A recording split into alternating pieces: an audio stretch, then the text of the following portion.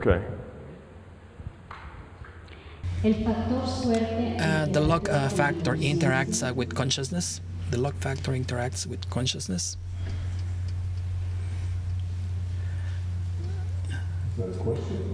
Yes. ¿Es pregunta? Esa fue- Yes, it's a question. Okay. What I heard was the love factor interacts with consciousness. The luck factor. Ah, okay. The luck factor interacts with consciousness. Yes. You see, we have a rule set, but this rule set has a lot of uncertainty in it. World of Warcraft and The Sims are the same way, right? There's lots of rolling of the dice, if you will, in World of Warcraft to determine things that happen. There's lots of chance involved in it. Because if there wasn't chance involved in it, it would get pretty boring, wasn't it? Everything would be predictable. We don't want that. We want choices that challenge us. We don't want choices that we've already memorized the answer to. That doesn't challenge us. So we need novelty. We need things to be stirred up. We need uncertainty. We need chance. We need luck. We need that to create the uncertainty with which gives us the choices which lets us evolve. Now, there's luck, so that's one sort of luck. Things happen, you know, that are just chance. And, and part of that randomness is our interactions. You got 7 billion people interacting with each other. You see, Mexico City, I don't know how many millions of people you have here interacting with each other. And because of all that interaction, it's really, really hard to predict what might happen on any given day. That's good. It's bad if you want to control everything, but it's good if you just want a lot of great opportunities to make good choices. So we welcome this uncertainty. Now, the other connection with luck or randomness or uncertainty is that because we create our own reality, we also create our own luck or lack of it. People who are lucky people who are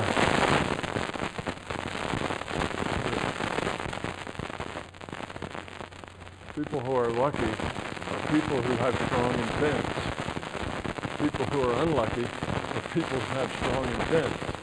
But what they don't have is focus. If you modify the probability of your intent so that things happen according to your intent, and you happen to have a negative intent all the time, then these are the people who are unlucky. They can never get a break. Oh, we're not getting we're not getting translation?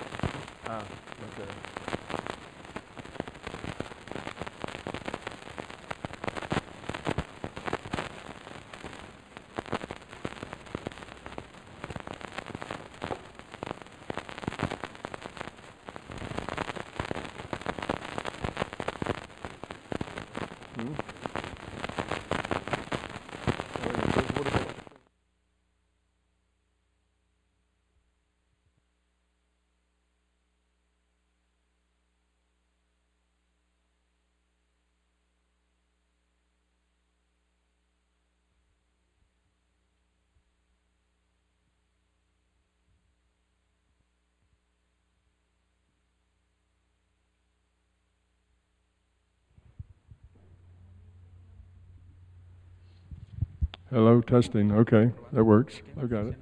All right, I'll start that over. The, uh, I think I told you the first thing about luck or uncertainty is that we need it. Uncertainty is good.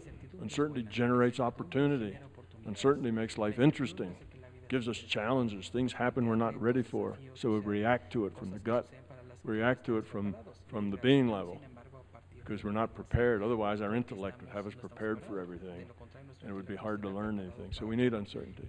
But there's also another aspect of consciousness and uncertainty, or consciousness and luck, and that is because we modify reality, because we change the probability of what will happen with our intent, then we create our luck, good or bad. If we're negative, and our thoughts tend to always be about, oh, woe is me, nothing ever happens good for me, we create bad luck.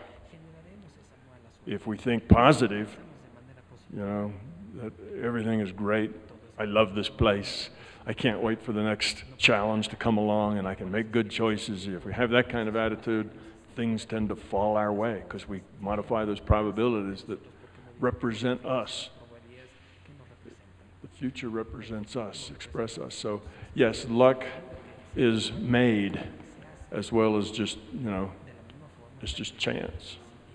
We create that. And that's even true if you're playing cards. You know, if you're, if you're playing cards or you're spinning the roulette wheel, those people who get on winning streaks, it's because of the way, it's because of the altered state they get into. It's because of the focus of their intent and the level of their confidence, and that creates winning streaks. And those people that always have losing streaks, it's the same thing. Has to do with fear and confidence, which have to do with, of course, your, your consciousness. So we create a lot of our luck. If you feel particularly lucky that everything has just kind of fallen in place for you, you probably have a very positive outlook on life. If you feel that you're unlucky and every time you almost get something, there's something that takes it away from you, you know, you're always, uh, uh, what is that? What's the saying? You know, you're always grabbing uh, uh defeat from the jaws of victory or victory from the jaws of defeat. Then you uh, you're making this happen. You're biasing. It's not that you make every event happen, you're just biasing events to turn out that way more often than they would otherwise. Okay, so that should answer that question. You got a, another question?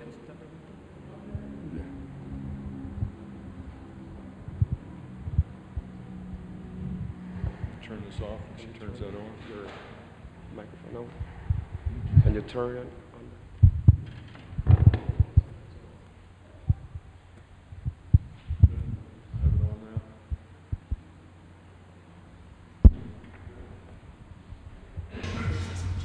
¿Nos puedes explicar la diferencia Can you entre el explain the tiempo difference uh, lineal? between lineal time? Ah,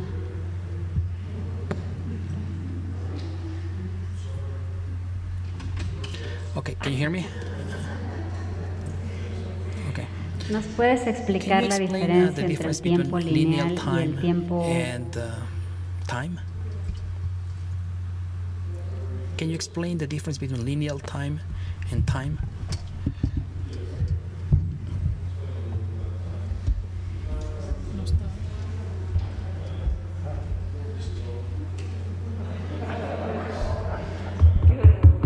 Hello?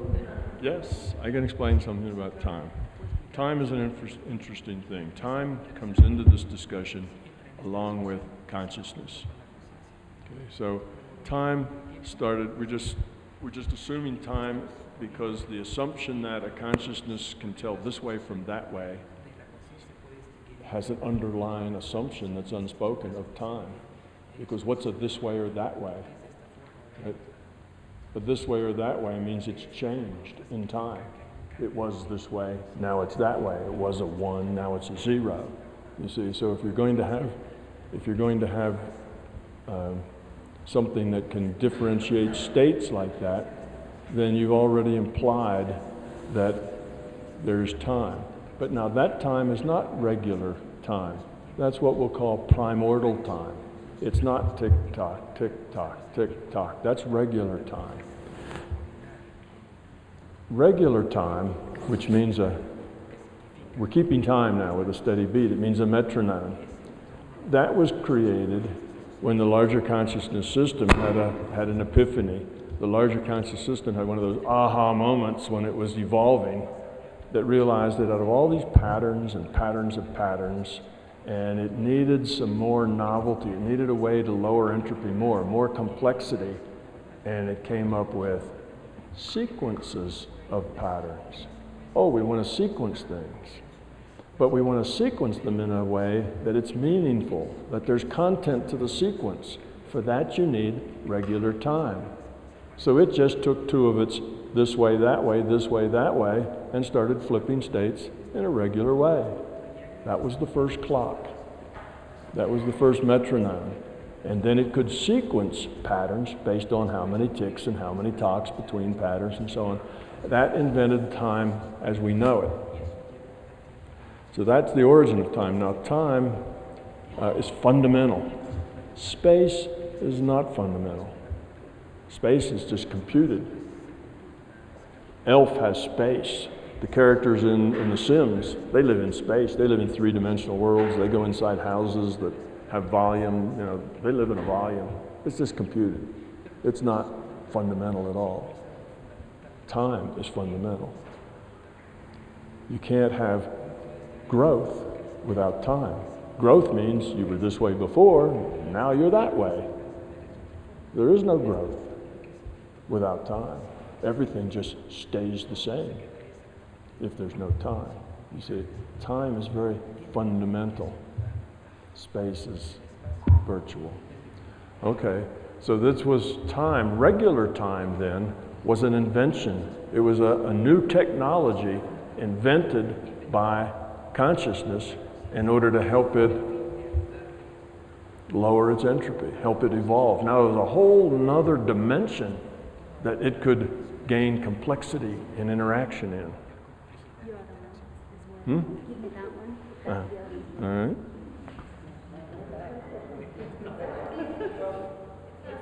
It's on. Okay, it's working. Ah, yay!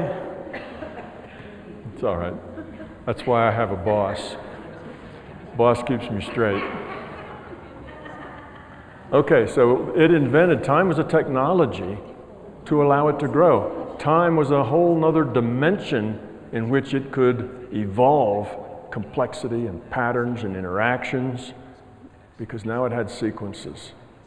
You see? So that's time as we know it. Now, what about the time here in this virtual reality? You know, what tick tocks on my watch here? What is that time?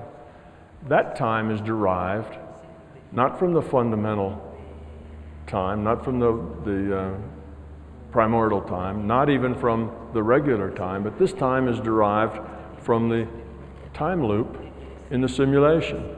A dynamic simulation calculates the results of all the states, this delta t, and then it increments delta t, that's a little chunk of time, forward, and then it calculates all the states again, and then it increments delta t. Remember, I gave that example. We're throwing a ball, and the ball's going through space. Now, here's the ball, a delta t later, it's here, a delta t later, it's here, a delta t later, it's here, and the ball does this trajectory. Every delta t, the simulation of the ball moves time a little further, and we have dynamic equations that describe how this ball goes on a parabola. You see, because gravity has an inverse square law. So we get parabolas out of this trajectory, and our simulation can be crude. Here it is, here it is, there it is. Or our simulation can be so fine that we only move a hundredth of a millimeter every delta t, and you can't see any jerkiness in it at all. It's perfectly smooth. That time, which is our time, is the, the simulation loop. That's a time that's just local to this simulation. It's our local time. Some other simulation has their own loop. That's their time. And their time, their, their time may be a smaller increment or a bigger increment than us. So time in virtual realities can be different, one to the other to the other. Time doesn't pass the same in your dream state, does it, as it passes in this state? You can go into the dream state and do things that you swear took you a week, and you find out it only, you know, was a half an hour, or vice versa. You know, you can do things in a dream in a dream state. Sometimes the time works the other way around, where you've been kicking and thrashing in the bed for an hour, and you know somebody wakes you up, and you've only got a 30-second story to tell. So time is different in different reality frames. It doesn't work the same. You can't translate from one time to the other. So we have our local time, and that delta t is very, very small because we have, it looks like a continuous time here. We think our watches just tick off seconds. Seconds are defined in terms of oscillations of a cesium clock, used to be defined in terms of how long it took for a revolution of our planet to go around the sun. So we, these are local times. Our little delta t in our simulation is approximately 10 to the minus 44 seconds. That's a very small number, 10 to the minus 44 seconds. That's a 10 with a decimal place.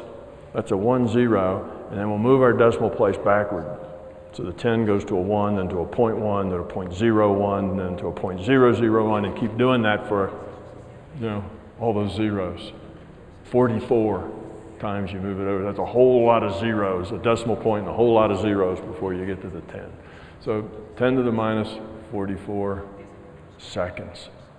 We see that as absolutely continuous, just like we see our movies as absolutely continuous when they actually are one still frame, the next still frame, the next still frame. It's a whole series of still frames, and we see that as fluid, continuous motion.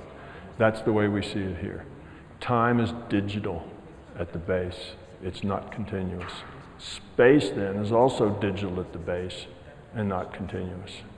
So that's kind of the story of time. You have primordial time that just came in with an assumption that you have this and that, a differentiation. And that's required if, you, if you're going to assume that consciousness exists. You can't have consciousness that doesn't do anything or go anywhere or have any choices, then it's not consciousness. Remember, free will, choice is one of the attributes of consciousness. You can't have consciousness without choices. You can't have choices without a before state and an after state. I make a choice. You know, it was like this, now I choose, it's like that. So time is fundamental for consciousness. So when I say that we start with the assumption that consciousness exists, we've started with an assumption of primordial time existing. And when I talk about a limit to our knowledge, the bacterium in our stomach just doesn't know about the light bulb in our refrigerator. We know about it, but it doesn't because it just can't get there, never can get there. It's not, a, it's not because the bacterium isn't smart enough, it's that the bacterium just can't get there. We just can't get past that assumption with consciousness. But it's a pretty good assumption because, hey, we're conscious. So consciousness exists is pretty solid. If consciousness didn't exist, we wouldn't be here talking to each other, you see. So we know that consciousness exists. So we just start at the earliest place we can start, which is that consciousness exists. We can't start any earlier than that because we're consciousness. We can't see before that. So, what's the origin of that primordial time? Don't know. Won't know. It's, it's the light bulb in the refrigerator to me, the intestinal bacterium. It's just something out there. Now, does that mean that it's not important? No. Those light bulbs in the refrigerator, those grocery stores, those farmers are very important to what goes down into that intestine where those bacteria are. But those bacteria don't know anything about it. And there's no sense them worrying about it because they'll never know anything about it. They can't. But it doesn't mean that what they don't know about isn't important, isn't significant, and isn't understood on another, another level someplace. That elf doesn't know anything about its server. There's no server in that elf's reality. There's just the map the elf runs around in. The server is non physical, beyond its knowing, and very important. But you see, it has to just let that go. So that's where we are with time. You know, time is, is, uh, is a local thing. So, I made that question. I made that question, and I really wanted to see if we can at the same time live different lives. Okay. okay. Okay, I can talk to that too. We'll just, Uh, Maybe we are living here now and Yeah. the, we, can you parallel, lives that we had before, can you parallel process? yeah. Okay, well, there's a couple of things going on there with time. You've had other lives at other times, and maybe this is a confusion you're talking about. You often will hear people say, it's very in vogue belief to say, there is no time, everything, everything's simultaneous. The past, the present, and the future are all happening at once. Everything happens at the same time, you know, so there's really no time, and it's all at once. And the past, the present is all happening, it's all real, it's all going on at the same time. It's just not true. It's a nice thought, but it's not true. Okay? I think the way that got started, at least the first time I heard that, was about 25, 30 years ago when I read Seth Speaks.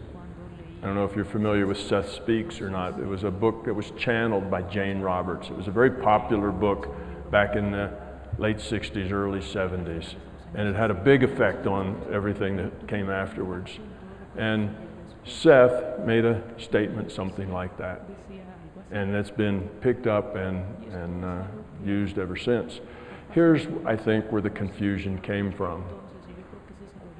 When you channel things, of course, it's the same thing. You're getting a data stream, and the channeler has to voice that data stream. And when the channeler voices that data stream, they have to interpret the data in terms of their own understanding and in terms of their own knowledge, fears, everything else. So it's their interpretation. So you expect in this kind of a channel data that you get some noise and you get some confusion because you've got an interpretation between the source and what comes out. Okay? So I think what was being said was that all of these things exist at the same time in the sense that at any time you can go to the probable future and look at the probable future. You can go to the past, whether it was the actualized past or the unactualized past, and you can explore in it. And you can explore in the future, and you can do that today, right now, this second, you know, if you have your attention there. So anytime you can do that. So here we have the future and the past and the present, and it's all accessible at the same time. That, I think, is what he was thinking. But the probable future is only a probable future. The past, again, it's, it's just what happened. It's a database. It's the database of everything that happened and the database of everything that could have happened but didn't and the probability that it might have happened. It's just a database, you see. So that database where you say your past life is in that database, it's just, it's like, data, like a book in a library, except it's a better library because the book contains all your feelings, all your thoughts, you know, everything you did, everything you wanted to do but didn't, all of those things are there, along with probabilities that you made other choices besides the ones you made. It's just a database. So when you go visit those past lives, they're not populated by people with free will making choices and growing the quality of their consciousness. It's just data. In the future, it's the same way. It's just a probability of things going on. There's nothing, the characters you see there are just acting out the probability that's in the database. The only place that has free will, where all the learning and action goes on, is right here in the present. You see, that's, that's it, here in the present. So that database there, it looks like it's alive because the database is so complete that when you go into that past life, you can be there. You can see the action, the people interacting, you know, the horses running down the field, the apple falling out of the tree. All of it's very real. And when you're there, just as, as uh, was said earlier, sometimes it's more real than here. And you can interact with that. You can watch it like you're watching a movie, or you can get into it and change choices. And the choices will change based on the probabilities of what would have happened given that choice instead of another choice. So it's a great place to do what if analysis. You can go back in that past database and say, well, let's see what would happen if I hadn't forgotten my wife's anniversary five years in a row. If I hadn't done that, where would I be now? Maybe we'd still be married, you know, or maybe this would, you know, or if I had if I had married, you know, Mr. A instead of Mr. B, you know, what would my life be like now? You can do that because it's just a probability.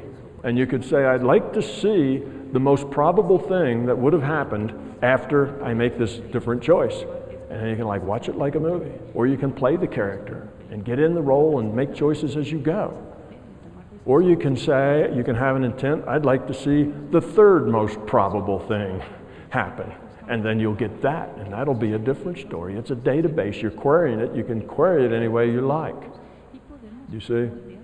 But people don't understand that, so they wander into it they see it. It's like a movie. It seems like it's live. There's characters, they're doing something. There's struggles, there's fights. You know, the knights have on their armor, they're charging on their horses, things happen, and oh, that was me, you know, and you see all this going on, and it seems so real and so alive, just like watching the big screen, right? It's uh, like watching those 3D screens that are surround, you know, screens.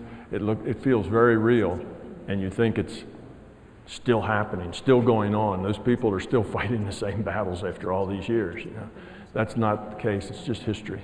So, time in that sense is All the action is here. Everything doesn't happen. There is such a thing as time, and it's very fundamental to reality. Um, the past is just the past, it's history. It's like a book. You go to the library, you open it up, and you see the knight on his horse. So in this case, you see, feel, smell, and the knight's doing stuff. It's alive. So like the, the newspapers that Harry Potter reads. The other is the future works the same way. You can go to a future reality and you can see how things are working. You can see interactions. You can see things going on. It's like a movie again. And you can ask for the most probable thing, the 10th most probable thing, the most improbable thing. And the database will give you data. But there's no free will being exercised there or in the past. Free will is always here in the present. Now, you can parallel process. You can be here in this reality doing something and be in another reality frame doing something, but that doesn't happen that often. You have to have a lot of experience to be able to do that. Most people can be here sleeping or here in a meditative state, you know, laying in a bed or sitting in a chair doing nothing and be someplace else, out of body, remote viewing, or someplace else doing something. But it takes a little more practice to be carrying on a conversation here and at the same time living another life someplace else, making decisions there, making decisions here. It's a little harder to do, but you can do that too. You can, you know, you know just as an example, many of the times that I'm talking to somebody who says, you know, oh, my Aunt Susie just fell down the stairs and is critical and this, can you help or whatever. While he's talking to me about his Aunt Susie, I've already gone, looked at Aunt Susie, done an assessment, and am helping where I think help is going on. And I can do that while I carry on the conversation. So that's kind of a mild form of parallel processing. So that, yes, that's, that is okay. And in that case, you're just, I call it parallel processing, but what it really is is fast sequencing. I spend a, a few tenths of seconds here, a few tenths of seconds there, a few tenths, you know, it's back and forth quickly enough that it seems continuous in both places. So I'm just sampling. So I'm not actually 100% focused on what you're telling me. I'm only maybe 90% focused or 50% focused. So I may miss some details, but I get almost all of it. So it's that kind of thing. It's a, it's a fast sequencing is really what's going on. Your attention is just flipping back and forth between this state and that state very quickly. So you end up getting both states, but both of them are a little fuzzier than they would be otherwise. So maybe that answers your question about time. Yes. Okay.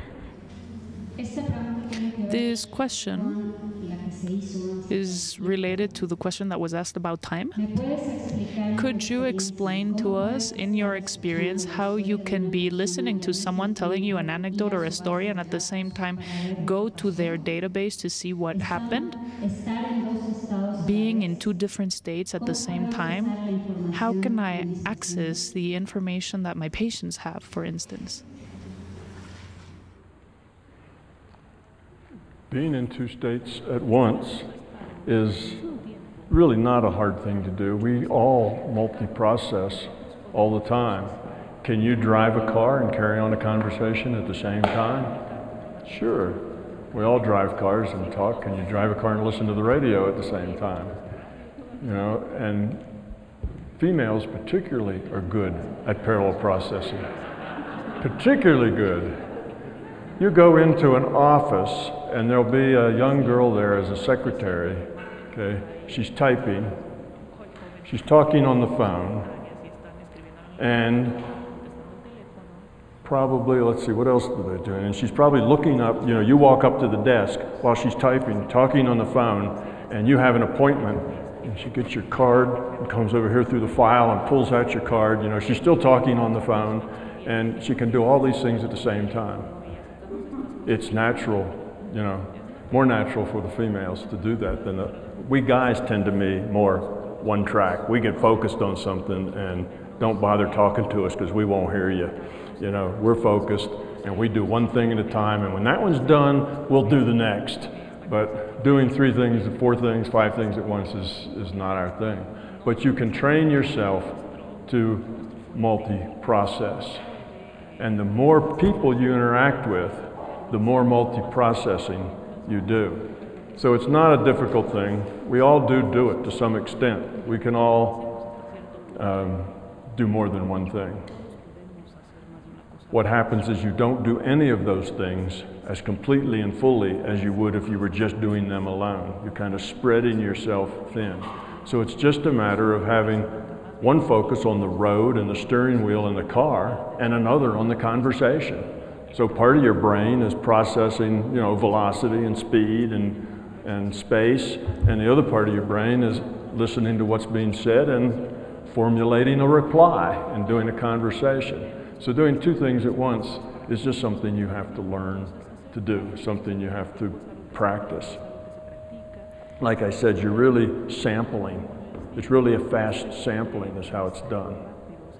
So you, you take your attention away from the driving partially and partially put it over to the conversation.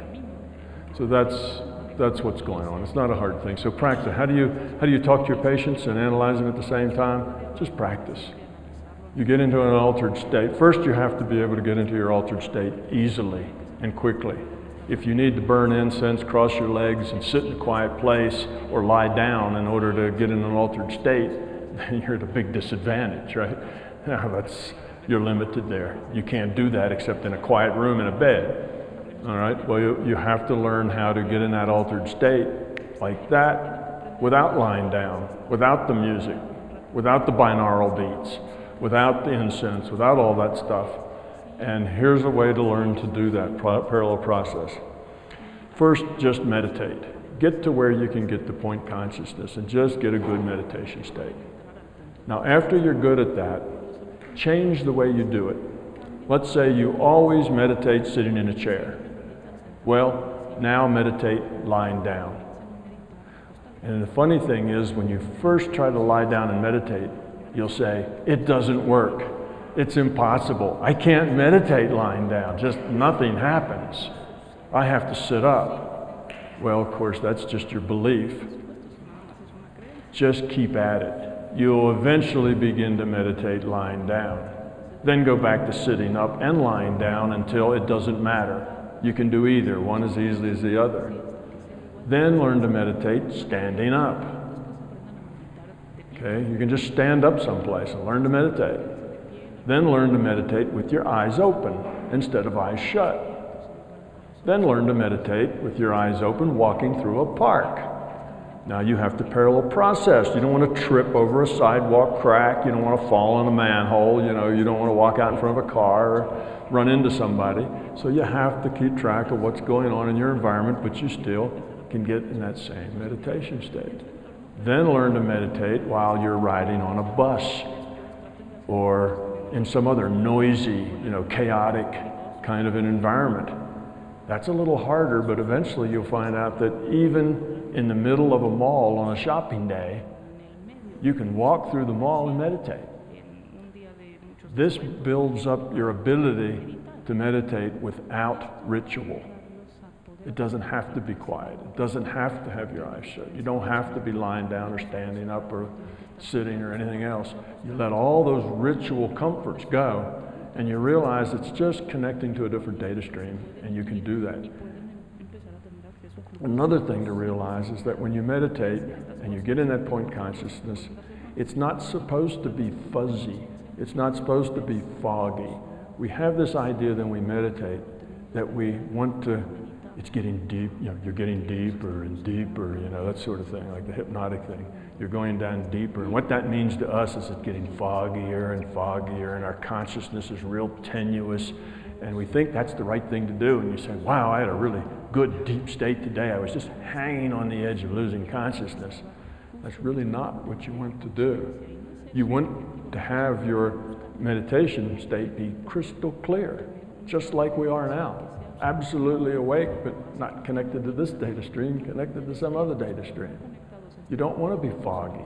So foggy isn't the answer. If you, if you feel like foggy is the thing you're trying to achieve, then you're very self-limited because you'll always be in these experiences of altered states and you'll miss half of it because you're foggy, it's half asleep, you don't see anything clearly. That's because it's so deep. But if you were to see things clearly, that would mean that you weren't in a good meditation state. You'd be waking up and then you'd end it. So you wouldn't be waking up at all. So don't, you can feel like you're perfectly awake and be in that altered state. Don't associate foggy, dreamy, drifty states with deep, good meditation. They don't mean the same thing.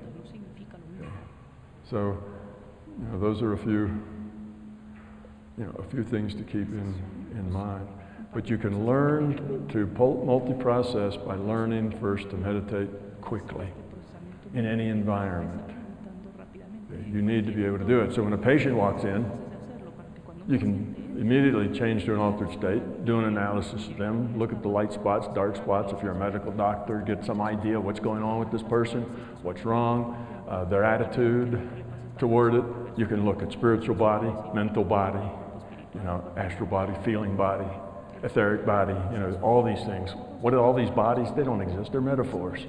It's just different kinds of, of um, you know, retrievals from the database, different query query for spiritual data, you'll get a picture that shows the spiritual body. Okay? You query for physical medical data, you know, you'll get the physical body, or you'll get the emotional body.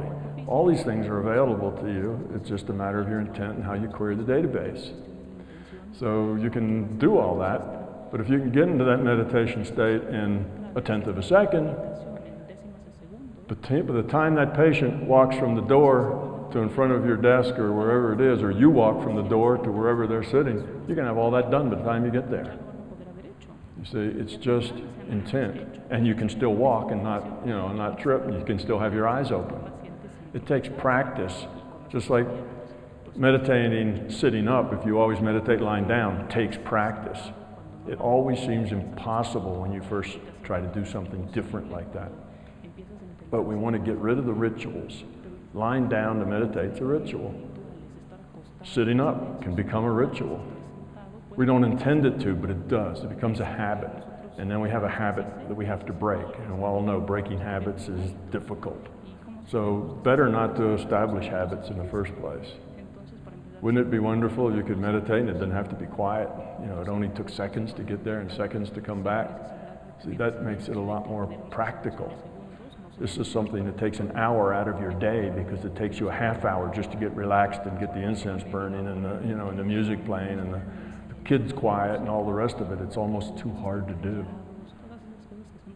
Yeah, so that's, that's how you get to multi-process. You practice and you do things that force you to let go of habits and crutches. And you can learn it.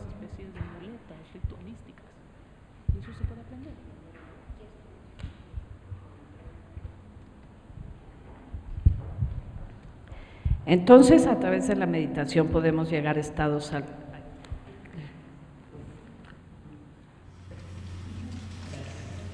Thank you. So, by meditating, can we achieve altered states? And do these states just happen on it on their own? Do we just learn to meditate and in time we I suppose we get better and better, but these altered states Will we have access to them through meditation? Will they come on their own, or are there special techniques in order to reach them? Okay. Meditating is an altered state. When you're in a meditation state, you're in an altered state. You don't have to meditate and then go to an altered state. Your meditation state is an altered. Altered state means you're not in this state of consciousness. You're not in this physical matter reality, you know, objective world. Your, your mind, your consciousness is elsewhere. You've detached from this world and now you're in an altered state of consciousness. But there isn't just an altered state. There's lots of different kinds of altered states. And these you learn just by practice. Just like your healing. When you first do healing, you're you're probably okay at it. You may heal, you may be successful 60% of the time. Okay? And that's a good for, you know, that's okay for a beginner. You know, 60% of the time is pretty good. 50% of the time is usually chance. 60% of the time means you're doing something. Okay? Well, that's good. But what you'll do then is when it works, when you're accurate, when you're able to do something and you kind of have proof that you're doing it, you go back and say, well, how did that feel? What was I in? You know, what was that like? And then you try to go back in that state. And the states where it really doesn't work, you'll say, well, what was that state? And how did it differ from the one that worked? See, and it's just trial and error. And eventually you'll get the ones that work and you'll know how that feels. You'll get the sense of it. And then you can get to that state quickly. You do that with other states. The states for remote viewing might be different. They may feel different than the ones for healing, you see. And it's all personal to you. With experience, you build that up, and then you can go to that state. If you're communicating with a being and you'd like to communicate with that being again, just think of the being with your intent. Bring up the being and your intent, and you have a communication. And you can communicate to that being whether that being knows it or not. You'll be connected to their consciousness. Whether their local awareness of it is there or not doesn't make any difference. You can connect to that being and, and, and interact with that consciousness. So it's, there are many altered states which you just learn, and there's no way anybody can teach them to you because they're internal states.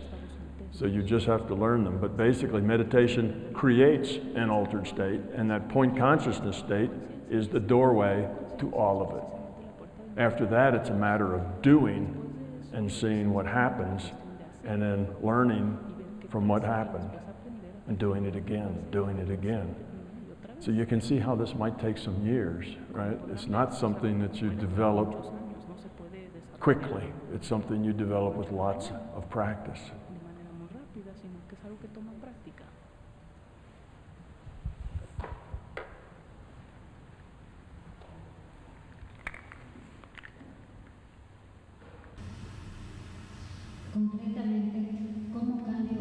Concretely, how can you change a belief? How can you change a belief? Well, the first step in changing a belief is that you understand that it's a belief. That's the biggest step. Mostly we have beliefs and we have no idea they're beliefs.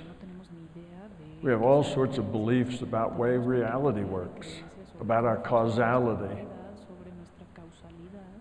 about all sorts of things. You know, we have hundreds of different beliefs, and we don't think they're beliefs. When we have a belief, you know what we think it is? The absolute truth, and it couldn't be any other way. It's a fact. It's the way it is. That's what we think. We don't say, oh, that's a belief and I believe it.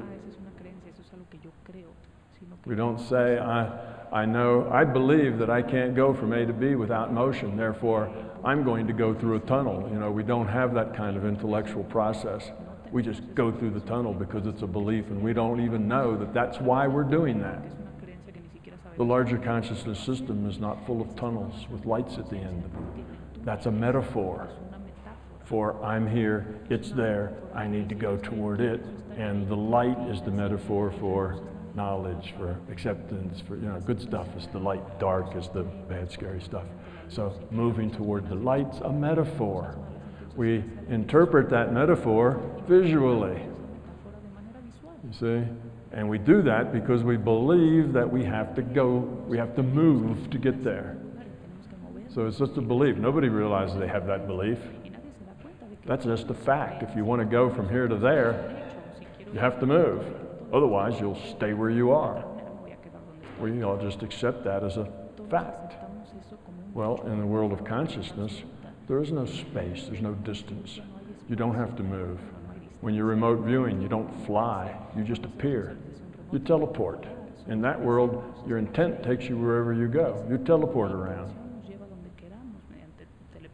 There is no space. The around is a metaphor. You see? There's just data and how you interpret the data. That's what's that's really what's going on. Your consciousness interpreting data. Think of all those little all those little people in the egg in the uh, in the matrix, and they were out walking up and down the street, going to work. They went home. They had family. They had children. They made calls on the telephone. They did everything, and all that being was was sitting in his little capsule with a plug plugged into the back of his head, getting data. You see, and the whole world was out there based on that data and his interpretation of the data. Well, it's sort of like that. So there is no space. That, that world that he worked in, you know, the, that he walked to work or drove a car, all that stuff, there was no space, there was no volume, there was no distance. You see, it was just information. And once you understand that, then you can, you can get around in the larger conscious system just by teleporting. And all the information is just uh, telepathy. Now, here, if you want to teleport around in this virtual reality, oh, now you're starting to mess with the rule set. See, now you're trying to, now you're starting to violate the rule set. And you can violate the rule sets privately or in small groups, as long as it doesn't create a problem for the, for the schoolhouse. You don't want to disrupt and have discontinuities in the reality system. Okay.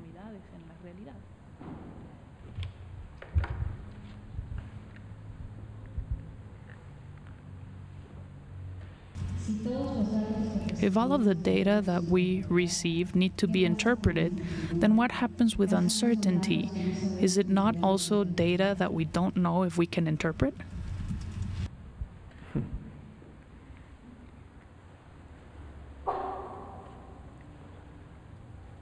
There's uncertainty in our interpretation, obviously, because we are interpreting it based on a limited set of information.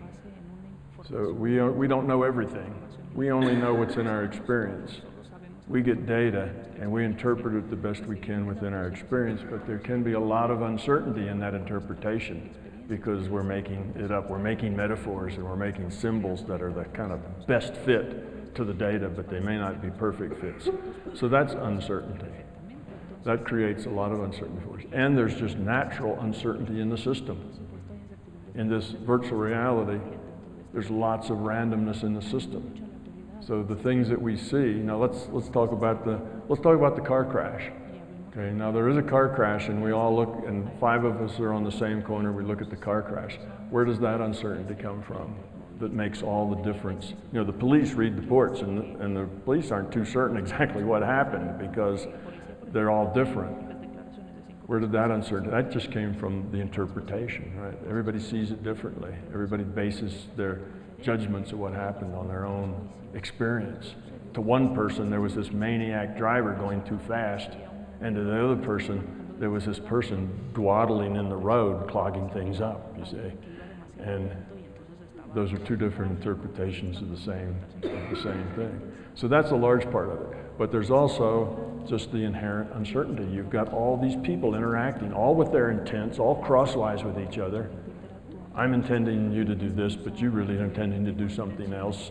And we have all this going on. So that creates a lot of uncertainty. Uncertainty just means that we don't know. Uncertainty doesn't have to be some pure mathematical uncertainty. It's just un- practical uncertainty in the sense that we don't know what's going to happen next. We're uncertain. We can't predict. I'm glad my chair isn't there. Yeah. We can't predict what's going to happen next. We just don't know, and that leaves us uncertain. You see, that's where that uncertainty comes from. So, uncertainty can be programmed into the data. Uncertainty might be programmed into our data. We may get a data stream that has uncertainty inherent in it because that gives us more choices. If we're certain exactly what all the variables are, well, then, you know, this is obviously the choice. You know, it starts to get more deterministic. The uncertainty provides options and choices. So sometimes the uncertainty may indeed be in the data that we get. Or maybe we get just pure perfect data and we put uncertainty in it the way we interpret it, and all of the above happen. But we need uncertainty. We need not to fear uncertainty. We need to let things happen outside of our control. We need to not control things. Be uncertain. Live gracefully with that uncertainty and just say, okay, I don't know what's going to happen here, but I've done my best. I've done what I think's right. Whatever happens will happen. And we'll all deal with it. You know, let the chips fall where they may, and we'll all deal with it. I've done what I've done. I've done it with concern for everybody that I know of. And now it, uh, just let go. So that's, that's the way. We have another question?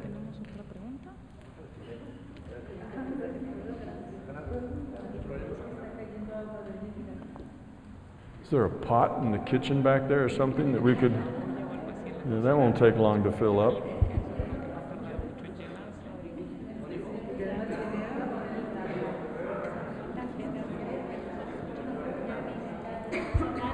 Ah, that'll work better.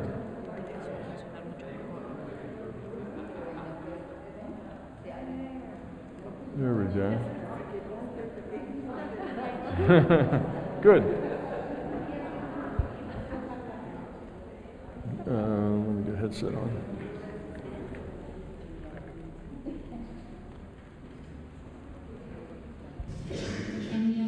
In my opinion, we. Wait, let me reread this because it's not very clear. Wait, wait, wait. In my opinion, we will die when we have already finished living what we have to live and go through and learn in this life. My question is if we take too many risks or risks too, too often, like jumping from a parachute every single day, can we can we die before learning what we should have learned or do the risks that we take not matter because we will die whenever we have to meaning when it's our time Yeah, okay. Um, the answer to that is if you take unnecessary risks, you're liable to end your existence here prematurely before you've done whatever it is you've come to do. Okay? That's just the nature of it. There are no guarantees. When you come here, you come here to experience and to make choices. If you make bad choices, you reap the benefits or the problems with those choices. If you choose to leap out of an airplane three times a day, every single day, the probability of you hitting the ground too fast once goes up than if you don't jump out of an airplane at all. You've just increased the probability of that happening. Okay, so when you increase the probability, well, you know, you jump out of the airplane with a parachute, right? And then you reach up and pull the string. That's the measurement. What happens next? Does the chute open or does it not? Well, there's a probability that it will and a probability that it won't. That's a measurement. A random draw goes up and you take a draw out and see what's going to happen next. And oh, good, the chute opens this time. And maybe, you know, 900 times out of a thousand or 999 times out of a thousand it will open, but there's some probability it won't. And every once in a while, that random draw will pick that one in a thousand and the chute won't open and you go splat. That's just the way the random draws work, you see. In that case, you took too many risks, you ended before you did what you came to do, and no big deal. You just started again another time in another place. That chapter was a short one.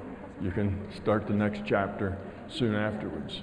So it's not a terrible thing in that sense, but it's a waste of an opportunity that you had and set up, and now you got to start back and find out you know, which way's up? What's the difference between mommy and daddy? You know, how do you tie your own shoes? You got to go back through all of that again to get to the point where you already were able to do more, you know, uh, quality choices. So you waste a little time that way. But uh, yes, you, you, it's not like my point in life is to make this connection, and I could jump out of an airplane with no parachute, and if I hadn't made that connection yet, somehow I'd land in a haystack and I'd be all right. It doesn't work like that. You take risks, things happen. There's a lot of uncertainty here. There's a lot of what I call, you know, Brownian motion. Brownian motion is a physics term for molecules in a, you put a bunch of molecules in a box and they just bump around into each other. And because they all bump into each other, they kind of fill up the whole box because they're all being bumped and knocked around. And that's called Brownian motion. It's a statistical thing. We're like that socially we kind of exhibit social Brownian motion. We all bump into each other and it changes our lives. Why did we marry the person we married? Because we happened to be in that neighborhood at the time we were looking for somebody to marry, and that's who we ran into. Had we run into somebody else, or had we turned left instead of right, you know, we'd have bumped into somebody else, we'd have married them. We think that's a big thing, but a lot of it's just randomness. Who we meet, where we live, kind of people we hang out with. stuff happens, and then you deal with it. You see why that's really not a whole lot of point trying to manage the stuff that happens? You can't manage it. There's too much uncertainty. You just drive yourself nuts trying. Make yourself unhappy. Let it happen and deal with it. Okay.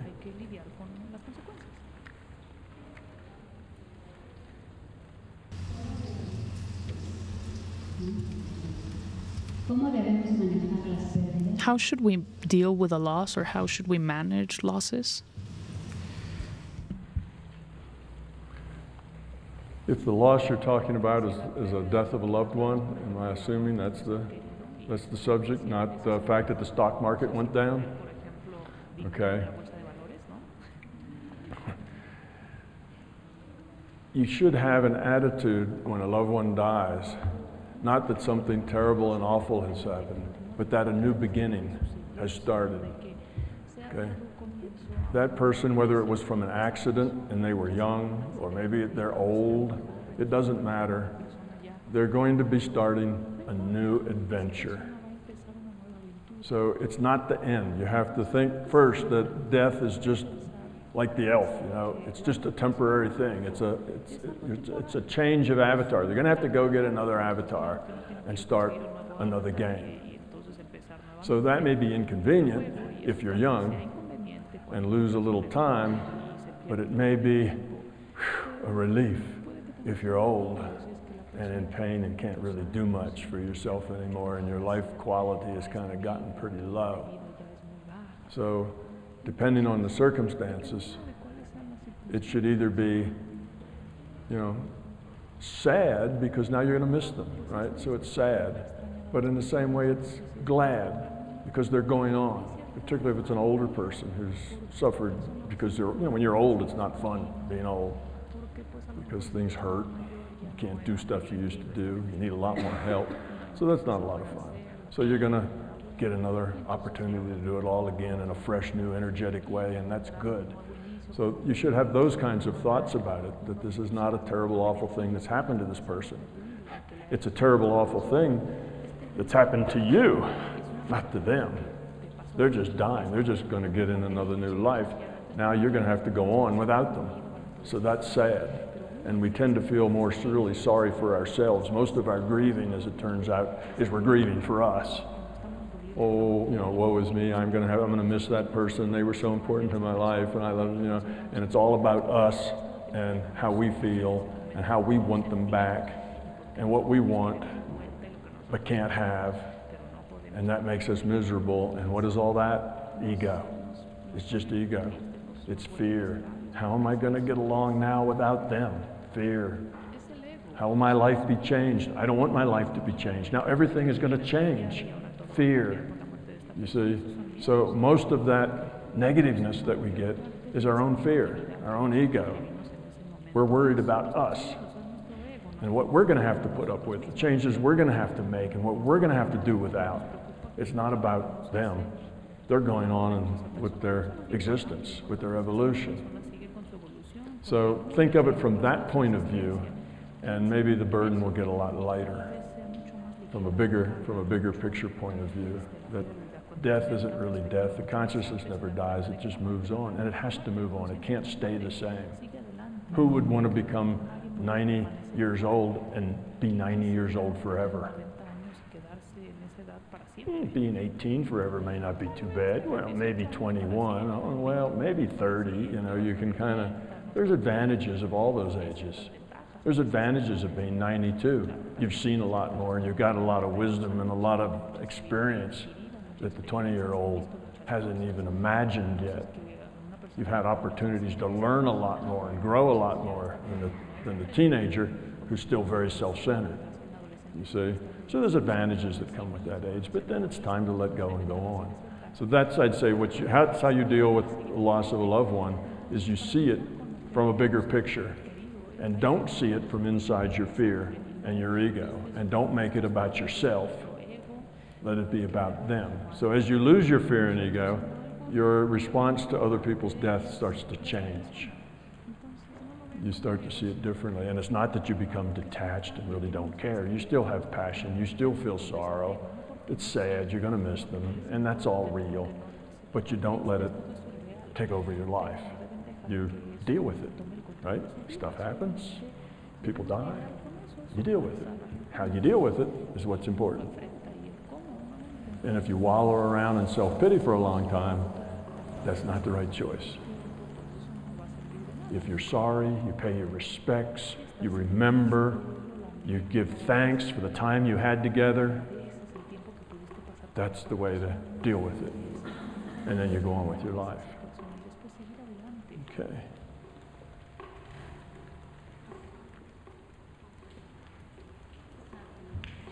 Hmm? Oh, okay.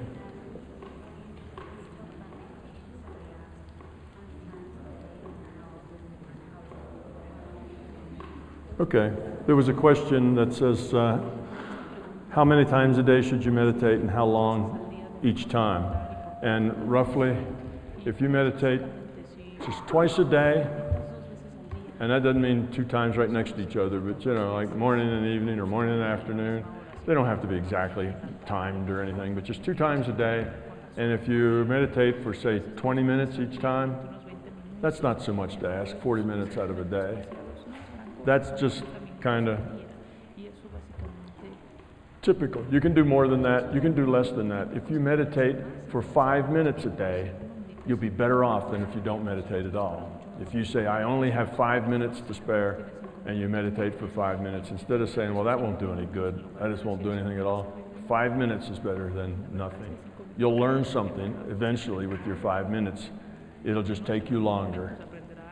So 20 minutes each time, twice a day.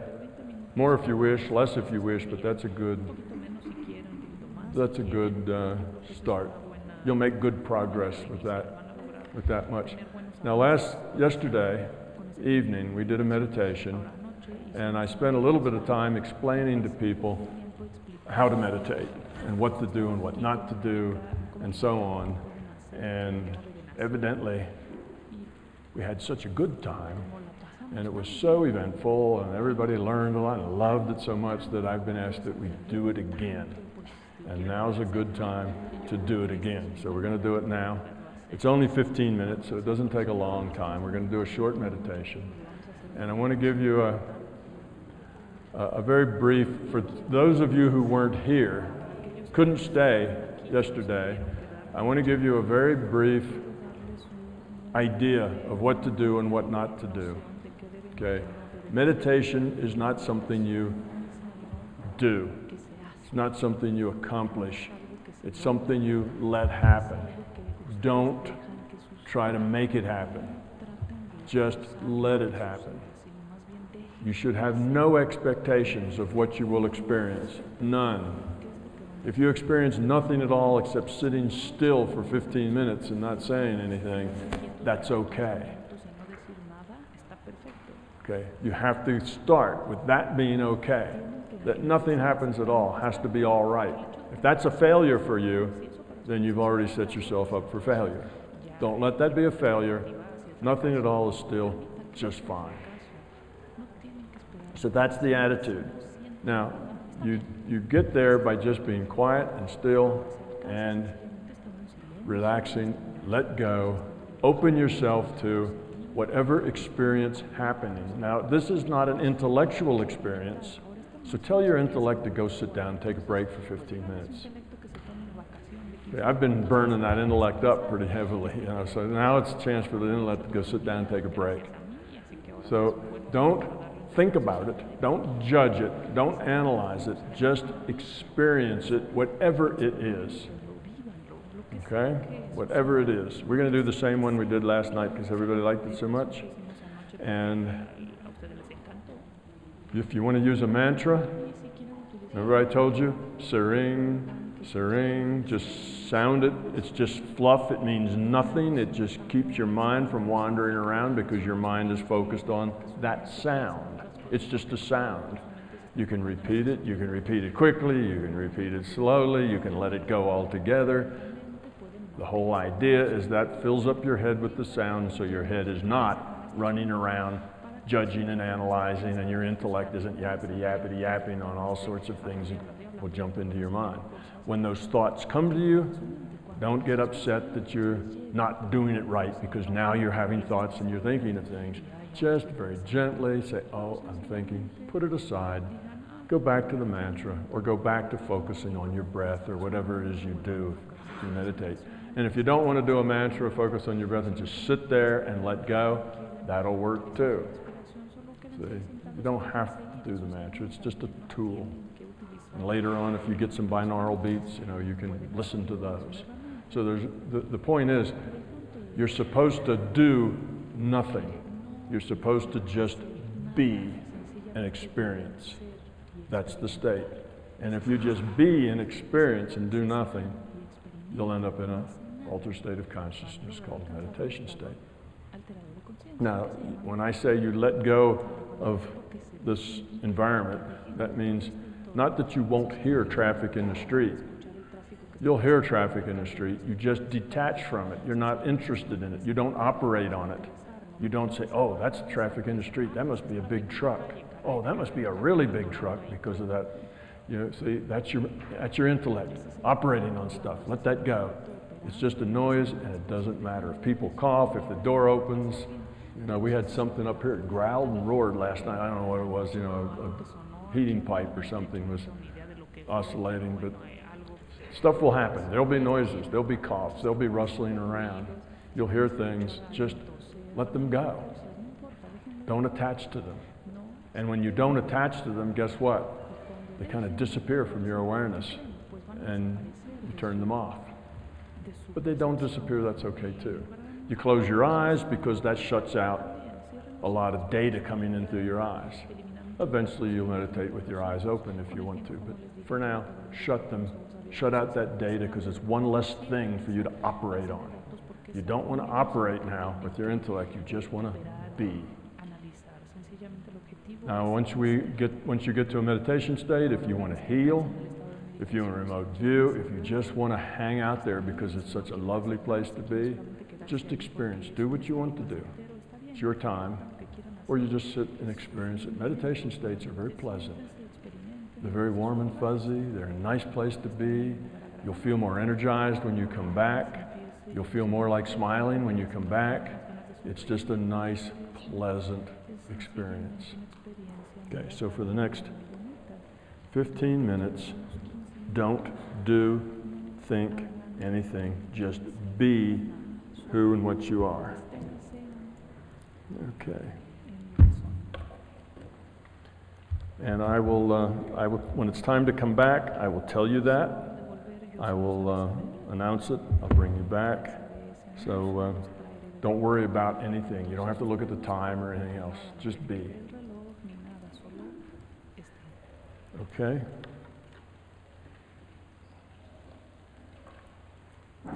Take a deep breath. Let everything go. All the worries, all the concerns, all the issues, let them go. And begin your meditation.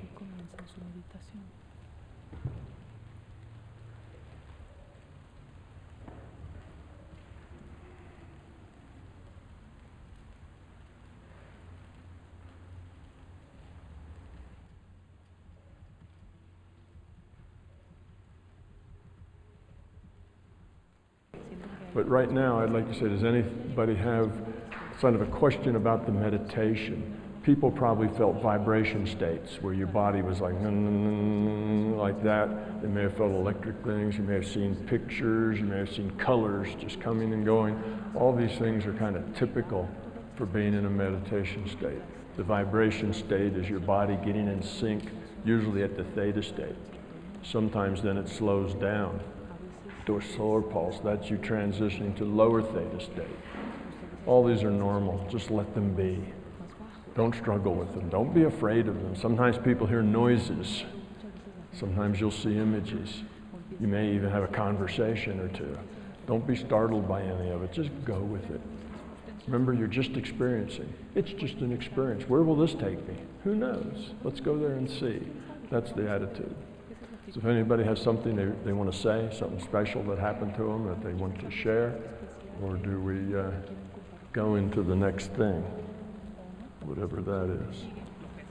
Our, our leader will tell us what the next thing is.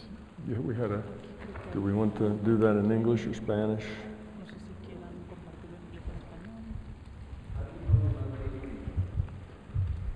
You need a microphone or they won't hear you in the booth.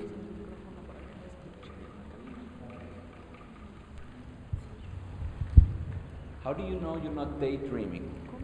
¿Cómo sabes que no estás soñando de día o What was that? Have I only? Uh, how do you know you're not daydreaming? How do you know you're not daydreaming? Okay.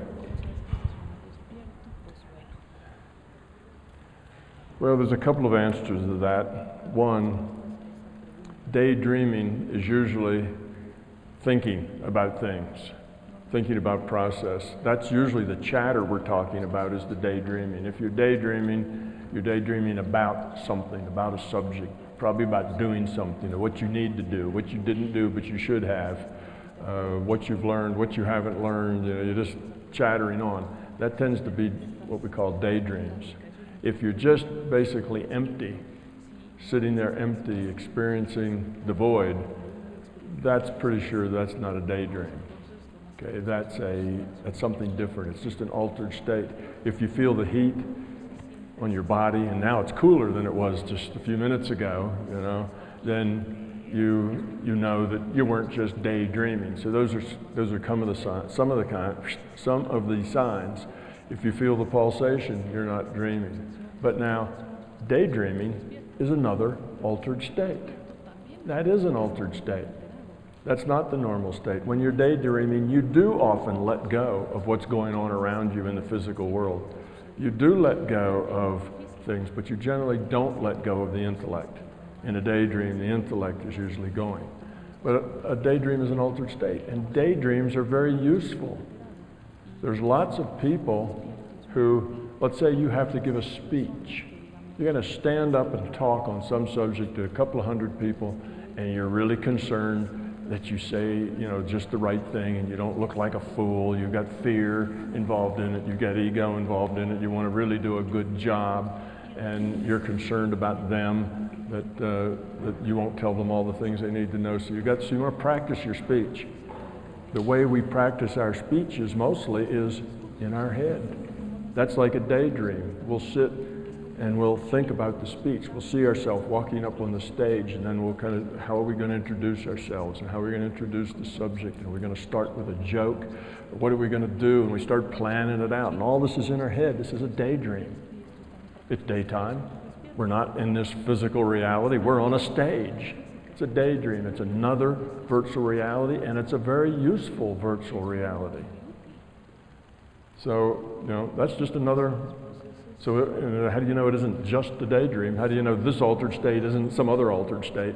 Well, it's kind of hard sometimes to tell altered states, but there are some signs that I told you about. But actually, it doesn't matter. The question you ought to ask is Was it useful? Did I get something out of it? Was there something there that felt good or felt different or felt like I maybe like to do it again? Is there anything to it? If there is, then it doesn't matter whether it's a daydream or whatever you call it. The, the, the name of it doesn't matter. Is it useful matters. It should have been useful at least to give you a few minutes to reflect and just relax without having to be thinking and thinking and operating all the time. So that should have been useful, at least. Well, that's good. If it is, feel good about doing it and, and don't worry about you know what it was or what it wasn't. Just accept it for what it you know for just what it was. That's the don't analyze don't judge just experience